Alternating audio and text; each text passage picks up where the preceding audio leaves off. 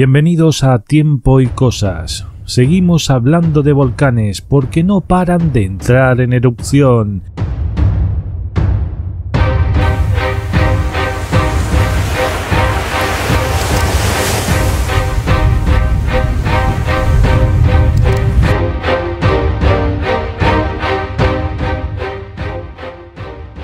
El último, el volcán Sisaldin en Alaska, es uno de los más activos, con 2.857 metros, siendo el pico más alto en la cadena de las Islas Aleutianas. Este volcán ha levantado una nube de cenizas de unos 8 kilómetros de altura, está provocando retrasos y cancelaciones de vuelos. Así que el Observatorio de Volcanes de Alaska ha emitido un código rojo de advertencia para todo el tráfico aéreo alrededor del Sisaldín.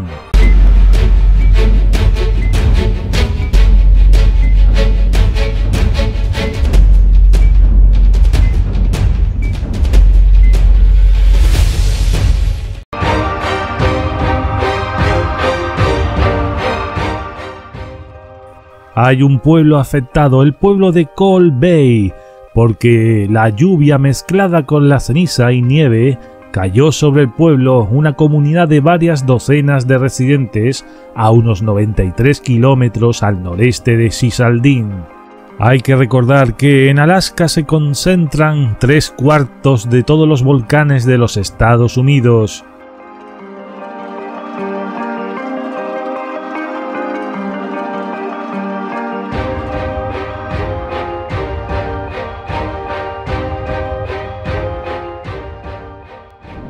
Efectivamente, estamos viendo un incremento de erupciones volcánicas. Veremos cómo se presenta el año 2020. La ciencia dice que las erupciones son consecuencia del aumento de la temperatura en el magma y este, que se encuentra en el interior del manto terrestre, actúa ocasionando erupciones volcánicas. Expulsan lava hirviendo y puede generar incluso el derretimiento de hielos y glaciares. Otras consecuencias son derrumbes, aluviones y los temibles lahares.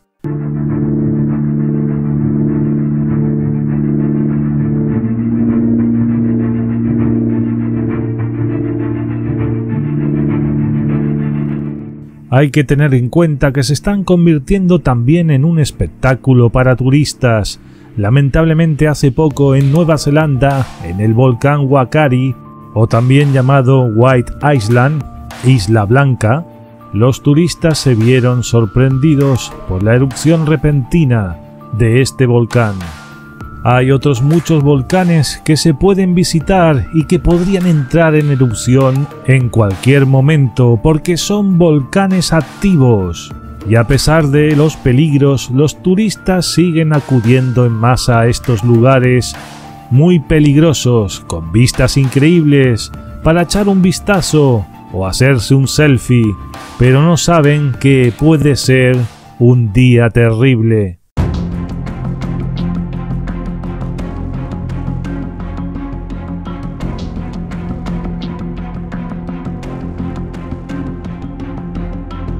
Hay otros volcanes que pueden ser visitados y también son peligrosos, como el volcán Merapi en Indonesia. Es el volcán que está más cerca de la ciudad más densamente poblada como Yogyakarta. Este volcán entra en erupción cada 5 a 10 años. Y pasamos a Etiopía porque aquí está el volcán Erta Ale. No es muy alto ni imponente, pero es uno de los únicos volcanes en el mundo que tiene un lago de lava casi consistente. Está ubicado en la depresión de Danakil. También es conocido como uno de los lugares más calurosos del mundo. Y pasamos ahora al Mediterráneo porque aquí está el monte Stromboli en Italia, uno de los volcanes más famosos y activos del mundo. La única forma de visitarlo es en barco Hace poco vimos como unos turistas eran sorprendidos por una erupción piroclástica. Casi no lo cuentan.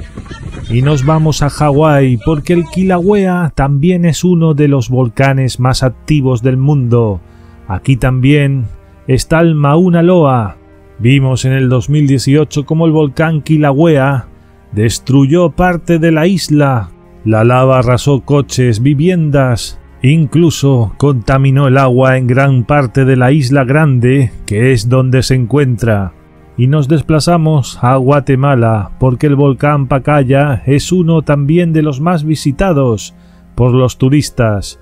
Los visitantes han descubierto que este volcán libera calor y es perfecto para asar malvaviscos. Pero también en Guatemala está el volcán de fuego, que ha entrado en erupción recientemente. Hablábamos antes del volcán Stromboli en el Mediterráneo, en Italia, pero hay un volcán que también es muy visitado, el Monte Etna, en la isla de Sicilia. Es el volcán también más activo de Europa y también el que tiene más periodos eruptivos en casi los últimos 2000 años. El senderismo es una de las formas de disfrutar de la visita a este volcán.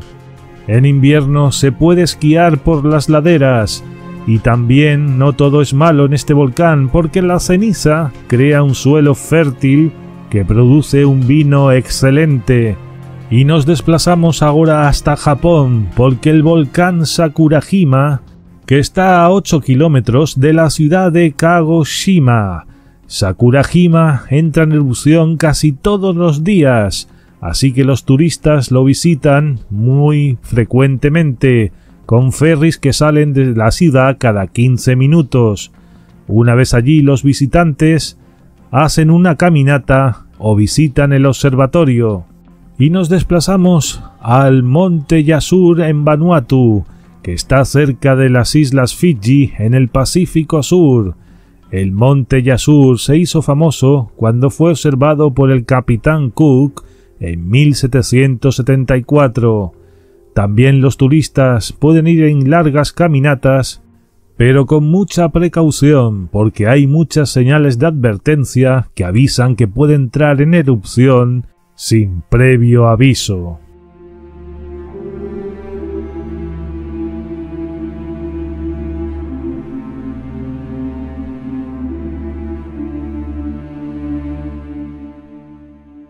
Y nos desplazamos a México porque el volcán de Colima es considerado uno de los volcanes más peligrosos para visitar.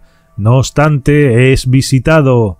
Tuvo bastante actividad en la década de los 90 y hubo una gran explosión en el año 1913 que derribó parte del cráter.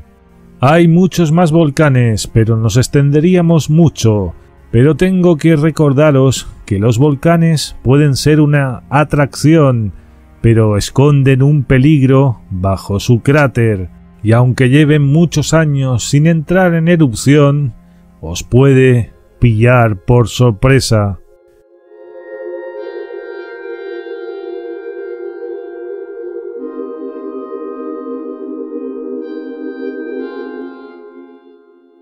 Como siempre nos vemos en el siguiente vídeo. Gracias por estar aquí en este canal de Tiempo y Cosas. Si te ha gustado darle like y compártelo en las redes sociales. También te animo a suscribirte y te recuerdo activar la campana de notificaciones. Hasta el próximo vídeo amigos, un saludo a todos.